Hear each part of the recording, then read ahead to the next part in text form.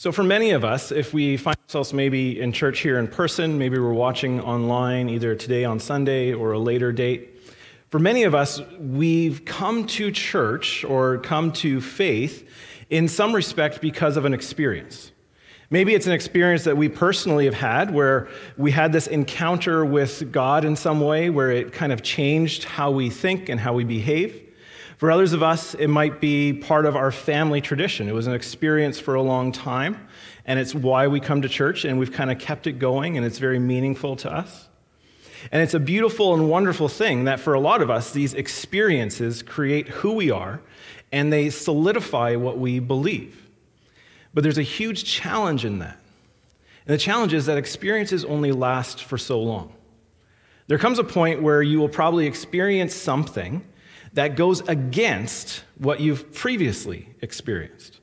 So let's say you had an experience as a child loving going to church. Maybe you loved Sunday school. Maybe those flannel graphs were the best thing all week. Not to mention, you know, the goldfish crackers and the super sugary juice that you would sometimes get. And you loved that experience. And for you, that experience made you go, I want to keep doing this. I felt loved, I felt accepted, it was great.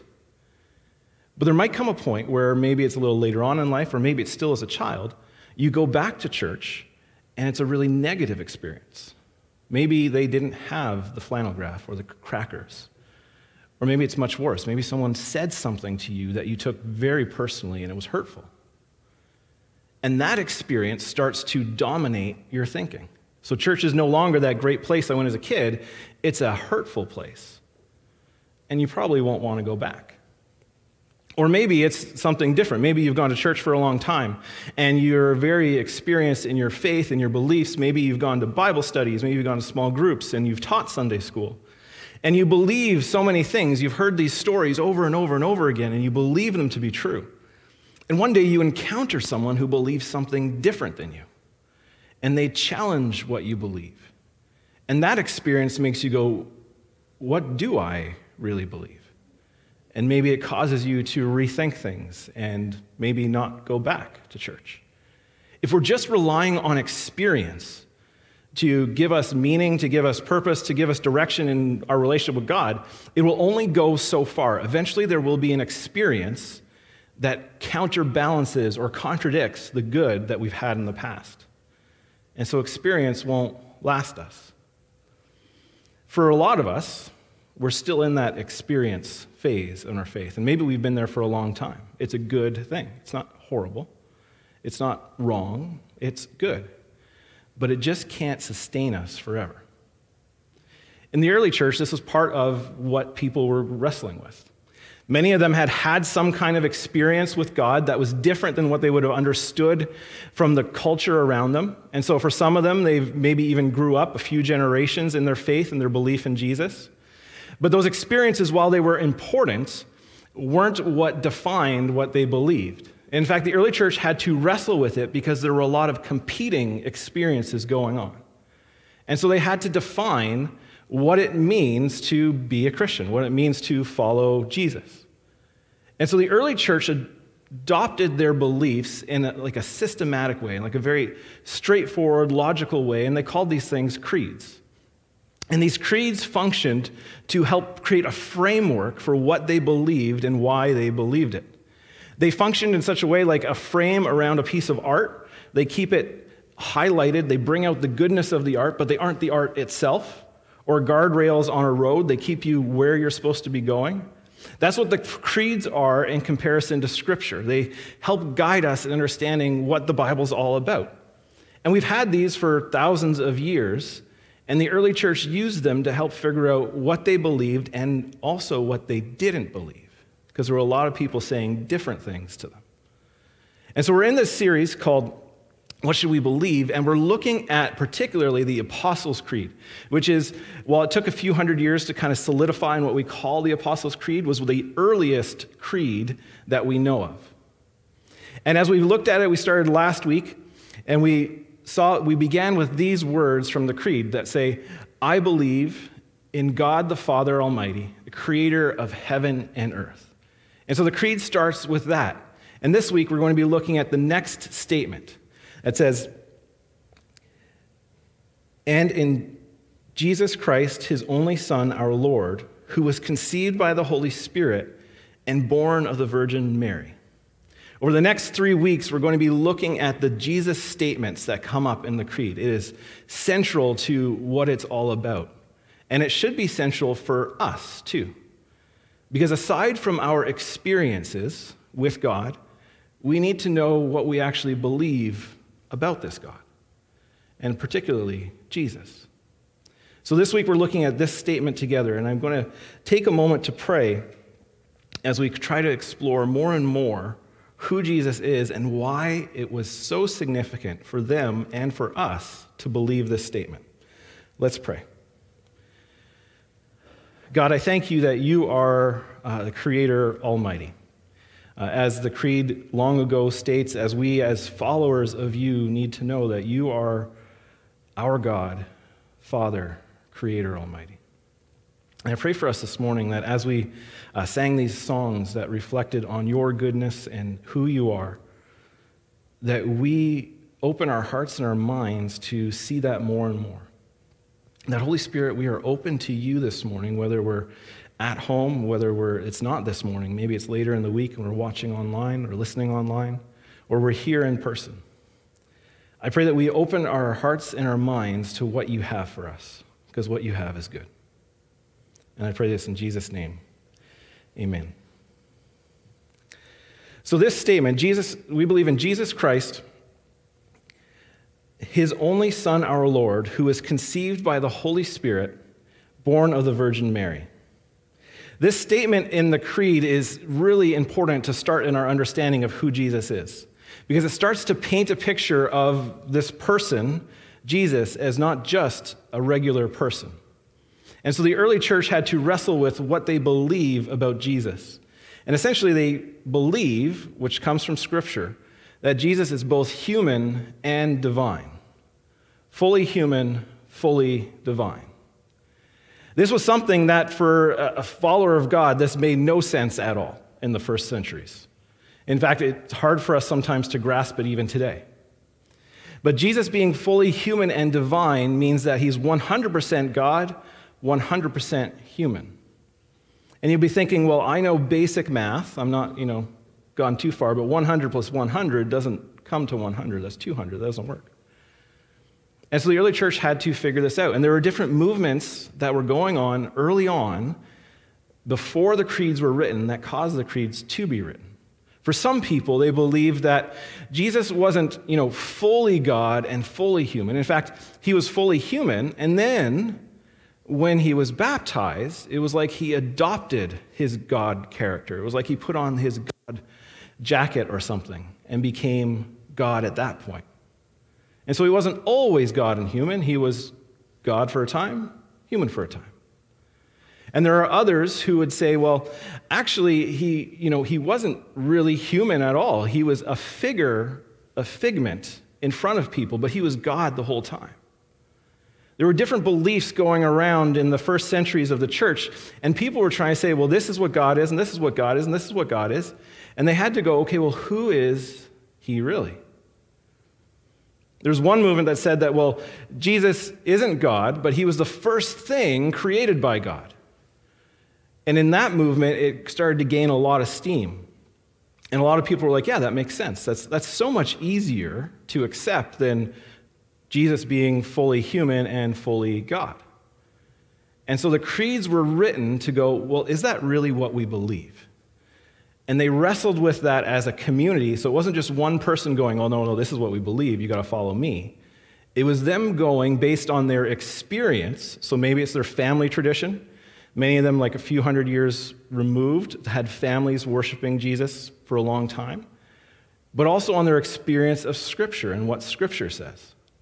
And eventually it came to this term, which comes in a later creed, and this term that helped them understand what it means that Jesus is fully human and fully divine. And that term is hypostatic union. It's not something that comes up very often in conversation. Uh, and in fact, the word hypostatic is probably not familiar to most of us. I'd say that it's not really something that I use in conversation, even when I talk about God.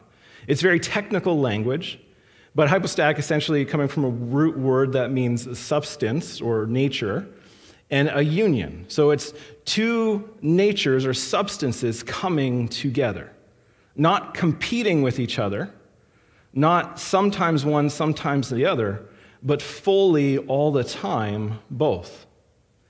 And one of the ways people tried to grow and understand this was through art. And so in the early centuries of the church, people would paint, uh, create mosaics, make paintings that would try and picture this as best they could. One of the most famous ones is from the 6th century that's found in Egypt, and it's Christ the Pantocrator, which will be on the screen. And in this one, half, it's hard to see probably on the screen, but if you look it up sometime, it'll be uh, interesting to look at. But the image is that half is human and half is divine. And so it's almost direct, like it's pretty much directly down the middle that there's a human side and then there's a divine side to Jesus. And so the side that would be on your right by art historians would say that that is the human side. It's a fairer side of Jesus. It's, it's a kind of peaceful looking, as whereas the left side is a more serious divine side. Sorry, that's my left, not yours. It gets so confusing. So these early artists were trying to make sense of this as best they could, and it's one of the ways we can see it too. God is fully human and fully divine all at once. He's not some of this and some of that. He's fully always. And so when we come to this idea, for some of us it's hard to grasp, and I'm not trying to pretend like it's easy to grasp, but it's a central belief historically of the church. And if you're wondering what makes a Christian a Christian, a Christian is someone in part who believes that Jesus is 100% God and 100% human. This was an early teaching of the church for a reason. Where this comes from is in various parts of Scripture. But a key one that we can look at this morning is in uh, the letter to the Philippian church from the Apostle Paul. In fact, it's a section of this letter that's one of the, I would say, earliest creeds of the church, the statements that they would say, this is what we hold to and believe, and we need to hold to it. A creed is, is like I said, it's, it's guardrails, it's a frame. It's kind of like the too long didn't read understanding of our faith and of the Bible. It brings it all together in a succinct way. And so, this early writing in Philippians chapter 2, uh, Paul says this He says, In your relationships with one another, have the same mindset as Christ Jesus, who, being in very nature God, so let's pause there. Being in very nature God. There's an argument that some people have made throughout history and still today that the early church didn't believe that Jesus was God. This is one of the earliest statements of the church. The earliest statements of the church that, yes, they did believe this. And in fact, if we go back to the series we were in just a little while ago, the I Am series, the statements that Jesus makes about himself in the Gospel of John, He's repeatedly painting a picture of himself in this way. His very nature, 100%, is God. Did, so, who being in very nature God did not consider equality with God something to be used to his own advantage.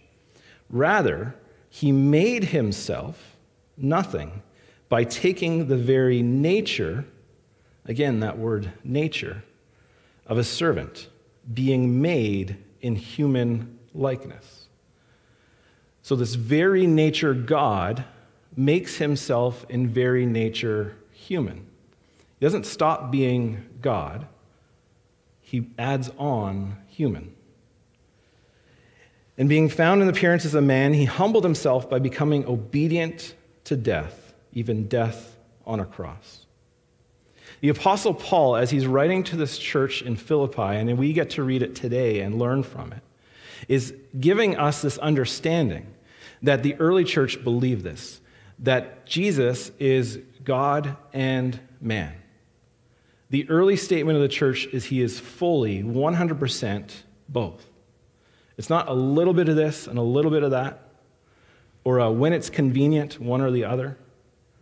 Jesus is human and divine. And so the statement that gets made in the creed that we believe in Jesus Christ, his only, the, his only Son, our Lord, who was conceived of the Holy Spirit, born of the Virgin Mary, paints this understanding that the church should have based on Scripture that Jesus is fully human, being born of the Virgin Mary, and fully divine, conceived of the Holy Spirit.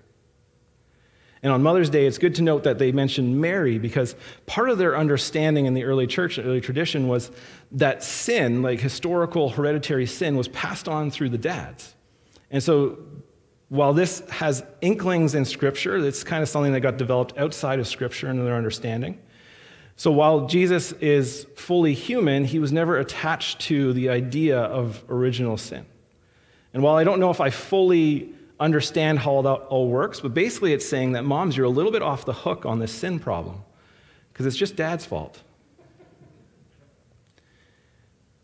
But there's more to it. And the more to it is that Jesus is fully human and fully God. Not a little of one and a little of another. He's fully that. This isn't easy to understand. I'm not going to pretend like it is, but it is central to what we believe. And part of it is making sense of it as best we can. And sometimes we use analogies that aren't perfect but can help a little. One I came across recently was to think about it in the context of, of these shapes that are going to be on the screen. So you have a blue square, you have a green triangle, and you have a red circle.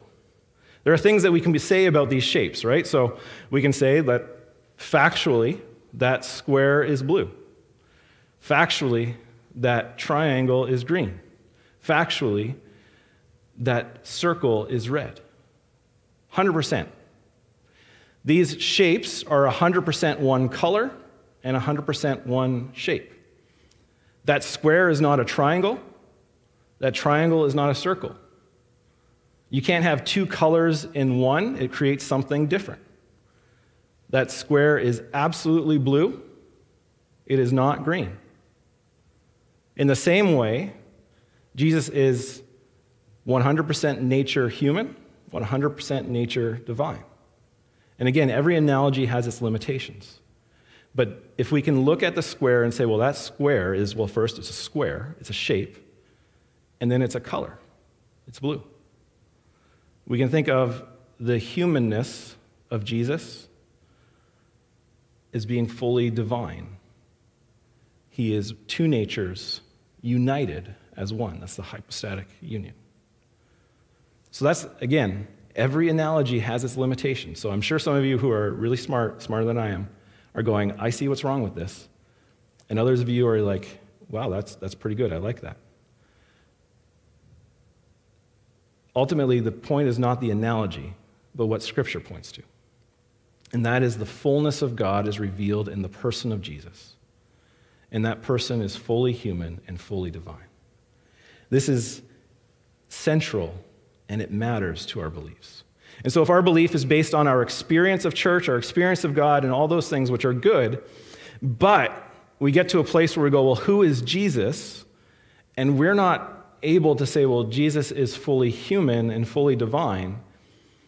Eventually, our faith and our beliefs take a really hard hit. There's a reason why there's such a movement for a lot of us who are you know, a little bit younger than me, my age, even older than me, who are deconstructing what they believe.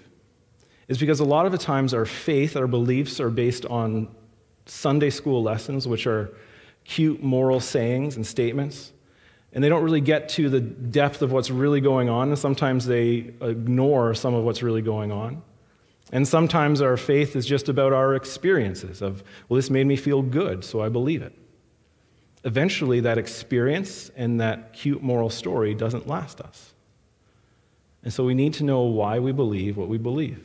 So we might encounter someone in our life who maybe believes something different than us. Maybe it's a Muslim friend at work who says, well, no, Jesus can't be human and divine. That doesn't work. So how do we make sense of it? Eventually, we will have these challenges in our beliefs if we are believing. So, Scripture points to Jesus being fully human and fully divine, and this is why it matters. If Jesus is not human, we have no relationship to him, meaning we can't relate. Jesus is fully human, as in he can experience the humanness of life. He can experience hunger, he can experience thirst, he can experience the extreme hot sun on a weekend when you're working outside. There's a relatability to Jesus that we would be missing if it weren't true. In the book of Hebrews, the author says in verse, chapter 4, verse 15, For we do not have a high priest who is unable to empathize with our weaknesses, but we have one who has been tempted in every way, just as we are, yet he did not sin. What we struggle with, what we wrestle with and try to understand, is what Jesus experienced throughout life. He was fully human. He fully experienced the challenges we face. Maybe it's not identical, there's a reality of 2,000 years of difference. You know, he's not wondering if he should be spending all his time on TikTok, but he is dealing with temptation. So we read through Matthew's gospel, other accounts where he is encountering temptation. How does he deal with it? He is fully relatable. If Jesus was not fully human, he could not die. And he died on that cross. Without that, Jesus is not Jesus. Sin needed blood to be paid. It's a horrible picture that we get through Scripture, but there needs to be some kind of sacrifice and so, if you read through the Old Testament, you see how God instructed people to give sacrifices of animals over and over again to show them their penance, their repentance, to draw closer to God and be made right with Him. As they've been disconnected through sin, He wants to bring them closer. And so, there needs to be this act. If Jesus wasn't human, He couldn't have died on a cross, He couldn't have paid that penalty. But if Jesus wasn't divine, he couldn't rise again. He couldn't forgive our sins. That is something only God can do. In 1 John chapter 2, it says, My dear children, I write this to you so that you will not sin. But if anybody does sin, we have an advocate with the Father, Christ Jesus, the righteous one. He is the atoning sacrifice for our sins. And not only ours, but also the sins of the whole world. If Jesus is not fully human and fully divine, his atonement is meaningless. His substitution for us, making right our wrongs, is meaningless. This is the Jesus we need, and this is the Jesus we have one that is fully human and fully divine. If we can't believe that, which isn't always easy, we've got to wrestle with what do we believe? We have 2,000 years of history, of church teaching, of scripture pointing us in this direction, painting the picture of Jesus as someone who is not just human, not just divine, fully both, this hypostatic union.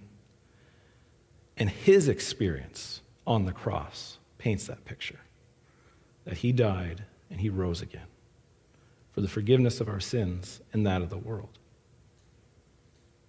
This is the Jesus of the Bible. This is the historical Jesus of the church. This is the Jesus I worship and I call Lord. Saint, um, excuse me, Leo the Great said this. He said, he, speaking of Jesus, he humbled himself to share in our humanity so that we may be able to share in his divinity. He humbled himself to share in our humanity so that we may be able to share in his divinity. Because God came in the flesh, Jesus, because he experienced life like we do, we can enter into a relationship with God, divinity and experience the fullness of life that he offers through the atoning work of Jesus. That is a gift, a good gift of grace for all of us. Let's pray.